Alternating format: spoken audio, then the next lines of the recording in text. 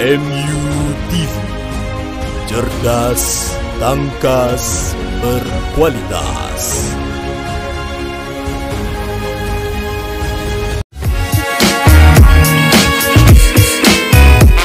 Assalamualaikum warahmatullahi wabarakatuh.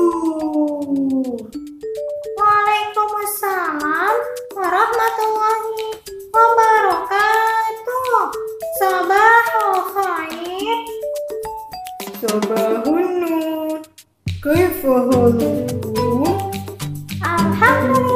ana bi khair wa anta. Alhamdulillah, ana bi khair kadzalik. Baiklah teman-teman, bagaimana kabarnya hari ini? Ketemu lagi dengan Budara. Kali ini kita akan belajar bahasa Arab mengenai materi kanan, oke, kiri, no. Sekarang kalian perhatikan ke papan tulis ya teman-teman.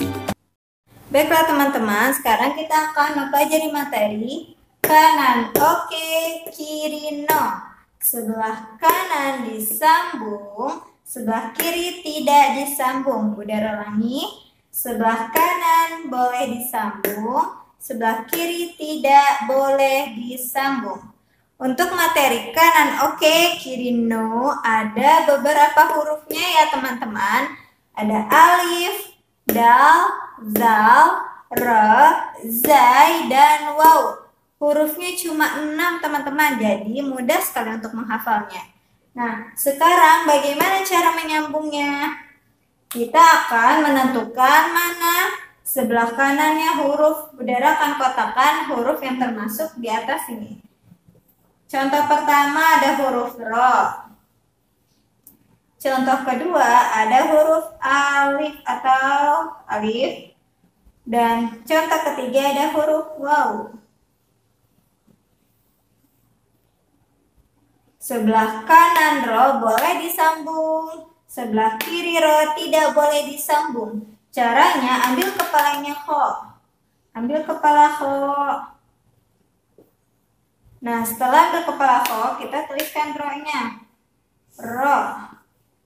Setelah itu, karena sebelah kirinya tidak boleh disambung, kita pisahkan dia. Siap kharaja.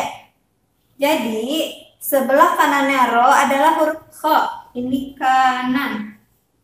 Sebelah kirinya huruf ja. Kiri. Budara ulangi, sekarang ke contoh kedua. Contoh kedua itu ada huruf alif. Sebelah kanannya huruf alif adalah huruf sa. Dan sebelah kirinya huruf alif adalah huruf lam. Caranya gimana? Ambil kepala huruf sa. U kecil, U kecil garis dari harokat. Kemudian kita sambungkan dengan huruf alif. A. Setelah kita sambungkan sa dan a, kita akan menulis huruf la. Karena huruf la tidak bisa disambung dengan alif, makanya kita akan pisahkan penulisannya. La sa'ala. Paham tuh? Oke, kalau masih belum paham, kita akan bahas contoh ketiga. Di contoh ketiga ini ada huruf wa. Nah, sebelah kanannya huruf wa adalah huruf j. Sebelah kirinya huruf ba. Jadi, yang boleh disambung dengan huruf wa adalah huruf j. Kanan oke, okay, kiri no. Caranya ambil kepala aja. Disambung dengan wa, wa-nya tulis semua ya teman-teman. Kemudian kita pisahkan huruf ba-nya. Jadi huruf ba-nya tidak boleh tersambung dengan waw. Dia tertulis sendiri. Oke, kita ulangi. Khoroja. Sebelah kanan yang huruf ro adalah kho. Sebelah kirinya huruf ja. Jadi yang boleh disambung adalah huruf kho dan ja tidak disambung. Begitupun dengan alif dan waw. Sampai di sini penjelasan Budara mengenai kanan oke kiri no. Silahkan dipelajari di rumah.